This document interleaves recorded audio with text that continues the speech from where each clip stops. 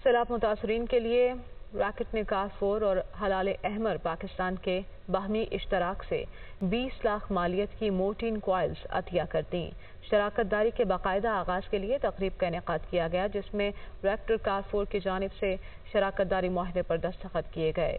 हिलाल Ahmar Pakistan red की जानब से फराहम करदा अतियात को मुतासरा इलाकों में तकसीम करेगा। इस मौके पर सी ई ओ वेक्ट का शान हसन का कहना था।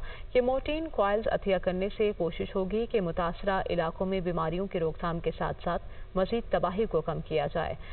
कारफोर के कंट्री मैनेजर उमर लोधी ने कहा कि रेक्ट के साथ टीम बनाने से मुतासर इलाकों में मजीद जानी नुकसान को रोकने में